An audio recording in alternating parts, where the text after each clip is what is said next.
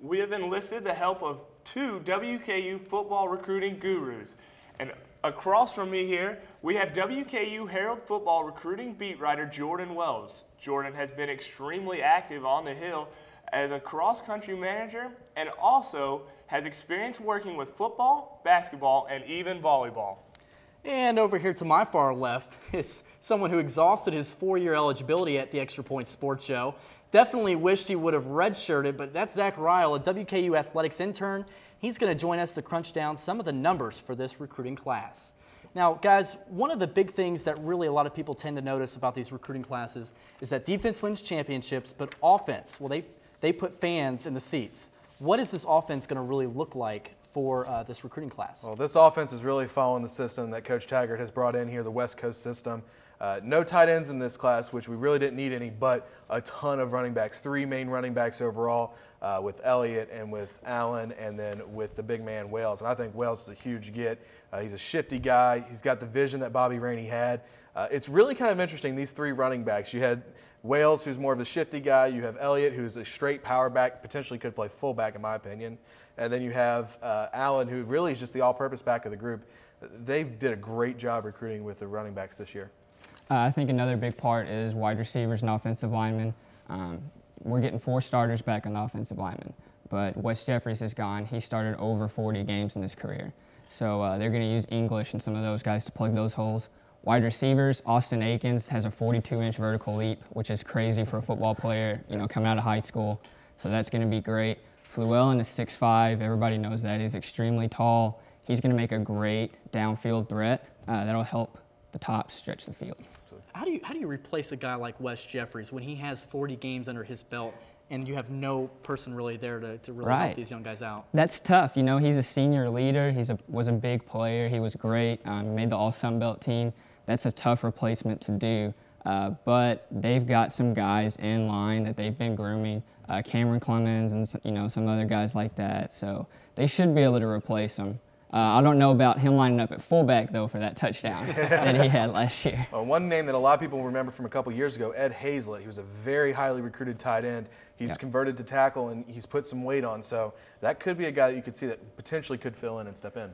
Now, with all these offensive recruits, each coach of every school, and Taggart, I'm sure, has his eyes on what position he needs to start building up. Did you think he filled all of his targets in this class to help that offensive keep moving along? I I think absolutely he did. I think you know when you lose someone that's Bobby Rainey, you're never going to replace a Bobby Rainey. Bobby Rainey is Right. you know the all-time leading rusher here at WKU. That's not gonna you're not going to be able to replace that. But he was able to get pieces of that. And with a 13-man class, you can't get just you know it's not just one or two guys. You just got to be able to plug and choose which ones you can. Running back was a big need. We said wide receiver was a really big need as far as to get at least one or two more bodies, and they did that. And I think it was a good class overall, Jordan. Right. I agree. I agree. Like we talked about earlier too with the running backs, we got three different types. Uh, it's really important that you've got backs for different situations, whether you're on the goal line, whether you're driving downfield. You need to be able to plug guys in for different situations. So they plugged all the holes that they need. All of these offensive players now for WKU, these recruit these recruited players, were there any big surprises out of this group that just really shocked a lot of fans and maybe even a couple football players to uh, that we got? Well, uh, it wasn't a, much of a surprise to me, but Ace Wales committing here uh, was a big shock coming out of Louisville. Um, he's the leading all-time rusher in Jefferson County history. So for him to be the all-time leading rusher in Louisville and then to choose WKU over his hometown school, I think was a surprise to a lot of people.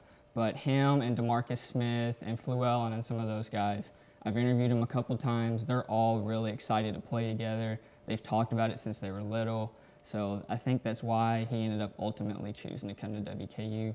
And, uh, you know, like you said, eight, over 8,000 rushing yards in his career. He might be the next Bobby Rainey. Absolutely. I, I think the fact that we had this many players out of the state of Kentucky, I think that is the biggest surprise to a lot of people. Last couple years, you know, you really struggled to get guys away from UK and U of L's grasp, but you know, this year I think WKU really was able to sink in, both on the offensive and the defensive sides, to really get some quality talent away from those two universities. Now, we mentioned all these players, and we look at a guy maybe like Wells. Which of these offensive players do you think can come in and have an impact in spring ball and possibly going into the fall? Uh, for me, there's two. I think it's Wales and I think it's English. I, I really like English. English can play to me tackle, guard. He pulled really well on film. I think he's going to be a guy that's really going to be able to step in. Maybe not start from day one, but he's. I think he'll be on the two deep. Uh, depth chart. I also think Wales. I mean, Wales has got the talent that we are loaded at running back. You've already got Keyshawn Simpson and Sumler and you know and and Edwards or Andrews, sorry.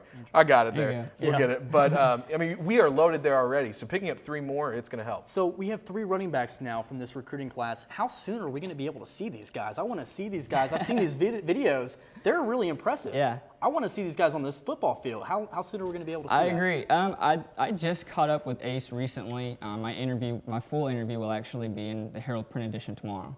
Um, but he told me a little bit more about his shoulder. Um, he did say that it's still coming along slowly. You know, he's working hard. You don't get over 8,000 yards in high school without working hard. But yep. it is coming along slowly. I think Leon Allen is a guy that you might see out on the field. A lot of people don't know he was academically ineligible until his senior year of high school. So not a lot of coaches knew about him. Of course, being from Manatee County, Coach Taggart knew about him. And as soon as he got on the field, Coach Taggart jumped in there and offered him. He actually added a late offer from Miami, University of Miami. And uh, he still decided to stick with WKU. So I think he's a guy, he's big, he's fast. I think he's got a good shot to see the field early. I think, same question to you, just keep it short here, but I think do you think? I think it's Aikens. I think Aikens can come in right off the bat. Uh, we were talking right before the show that you know Aikens potentially could be the biggest guy in this group, and I mm -hmm. think uh, he'll he'll be able to come in right away. All right, well, next up on the extra point, we're going to go ahead and take a look at the defensive signees. Stay tuned.